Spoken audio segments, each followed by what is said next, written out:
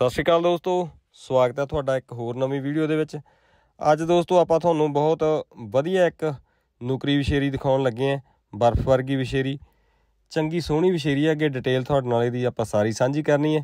ਤੇ ਜੇ ਕਿਸੇ ਸੱਜਣ ਨੇ ਆਪਦੇ ਕਿਸੇ ਜਾਨਵਰ ਦੀ ਵੀਡੀਓ ਆਪਣੇ ਇਸ ਚੈਨਲ ਤੇ ਬਣਾਉਣੀ ਹੋਵੇ ਜਾਂ ਫਾਰਮ ਤੇ ਇੰਟਰਵਿਊ ਵੀਡੀਓ ਕਰਨੀ ਹੋਵੇ, ਤਾਂ ਦੋਸਤੋ ਵੀਡੀਓ ਦੇ ਅਖੀਰ ਦੇ ਵਿੱਚ ਆਪਣਾ ਨੰਬਰ ਚੱਲਦਾ ਹੁੰਦਾ ਉੱਥੇ ਤੁਸੀਂ ਮੇਰੇ ਨਾਲ ਗੱਲਬਾਤ ਕਰ ਸਕਦੇ ਆ ਸੋ ਆਜੋ ਆਪਾਂ ਇਸ ਵਿਸ਼ੇਰੀ ਦੀ ਡਿਟੇਲ ਬਾਰੇ ਗੱਲ ਕਰੀਏ। ਇਹਦੀ ਉਮਰ ਜਿਹੜੀ ਮਾਲਕ ਵੀਰਾਂ ਨੇ ਸੱਜਣੋਂ 6 ਮਹੀਨੇ ਦੱਸੀ ਹੈ। ਹਾਲੇ ਦੰਦੋਂ ਚੌਗੜੀ ਹੈ, ਛੇਗੜੀ ਪੱਟੀ ਨਹੀਂਗੀ ਤੇ 6 ਮਹੀਨੇ ਇਹਦੀ ਉਮਰ ਇਸ ਟਾਈਮ ਤੇ ਹੋਈ ਹੈ।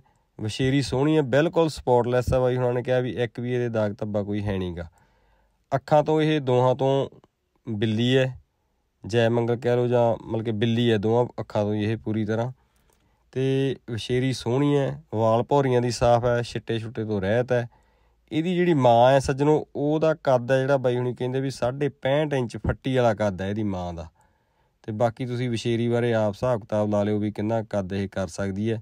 ਤੇ ਜਿਹੜੇ ਘੋੜੇ ਦੀ ਇਹ ਬੱਚੀ ਹੈ, ਨੂਰੇ ਬਾਕਰਪੁਰ ਵਾਲੇ ਦਾ ਬੱਚਾ ਹੈ ਘੋੜਾ 66 ਇੰਚ ਦਾ 65 66 ਇੰਚ ਦਾ ਘੋੜਾ, ਉਹ ਵੀ ਬਾਈ ਹੁਣੀ ਕਹਿੰਦੇ ਵੀ ਦੋ ਦੰਦ ਹੋਇਆ ਹਲੇ ਜਿਹਦੀ ਇਹ ਬੱਚੀ ਹੈ ਅੱਗੇ। ਸੋ ਮਾਂ ਪਿਓ ਦਾ ਦੋਵਾਂ ਦਾ ਹੀ ਕੱਦ ਬਹੁਤ ਚੰਗਾ ਹੈ ਤੇ ਬੱਚੀ ਤੋਂ ਆਪਾਂ ਉਮੀਦ ਇਹ ਕਰ ਸਕਦੇ ਹਾਂ ਵੀ ਚੰਗਾ ਕੱਦ ਕਾਠ ਕਰ ਜੂਗੀ ਇਹ।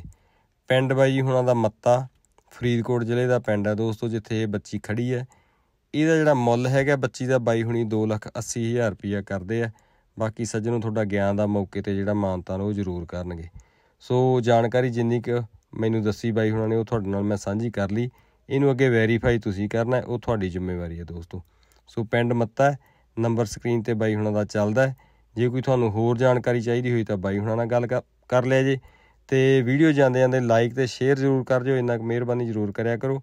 ਤੇ ਜੇ ਕਿਸੇ ਸੱਜਣ ਨੇ ਆਪਦੇ ਕਿਸੇ ਜਾਨਵਰ ਦੀ ਐਡ ਕਰਵਾਉਣੀ ਹੋਵੇ, ਤਾਂ ਇੱਥੇ ਮੇਰਾ ਨੰਬਰ ਦੋਸਤੋ ਚੱਲਦਾ ਹੁੰਦਾ, ਇੱਥੇ ਮੇਰੇ ਨਾਲ ਗੱਲਬਾਤ ਤੁਸੀਂ ਕਰ ਸਕਦੇ ਹੋ।